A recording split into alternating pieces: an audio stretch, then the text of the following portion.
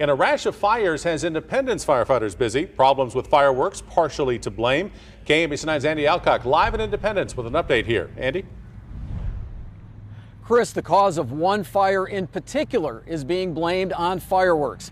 Let's take a look at an apartment complex where several cars were either damaged or destroyed by fire. Fireworks is the preliminary cause. Now, during a five day stretch over the extended 4th of July holiday weekend, Independence firefighters responded to eight structure fires.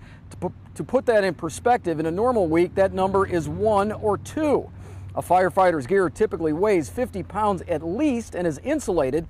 With the extreme heat and humidity this past week, it's especially tough on those firefighters you know, the more fires we run, uh, the more it taxes our crews, the more it puts our crews at risk of uh, injury during, a, during the extinguishment of this fire.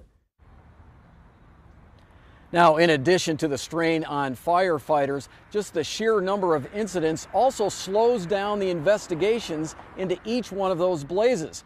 In particular, that fire we talked about at the apartment complex with all of the cars damaged or destroyed, still unknown at this point.